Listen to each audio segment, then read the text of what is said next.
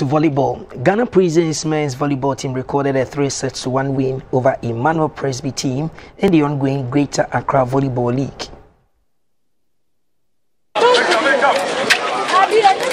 The Ghana Prisons men's volleyball team welcomed their civilian counterparts, Immanuel Presby, IPC from Medina. The encounter was a match day 29 fixture in the ongoing Greater Accra Volleyball League. Immanuel Presby were compact in the first set.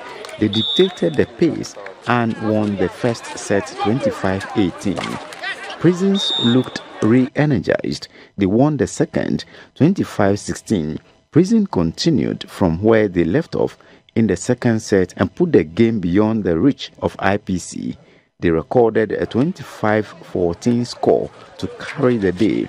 The coach of the prison team, Chief Officer Henry Abbas, says their aim is to win this year's league. It's not been any hectic one to us. We've played for long and we know their style of So anytime at all we meet them, we have different plans of playing. Today was just the worst of yes, but it was a good day for us. The organizer of the Super Volleyball competition Mr. Mohamed Aputiog says with the right investment, volleyball can compete favorably on the continent. I think the teams are doing well.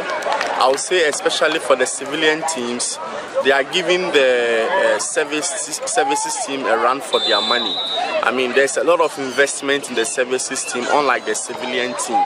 It takes individuals to raise up teams, it takes individuals to uh, finance those teams, and they are doing quite well.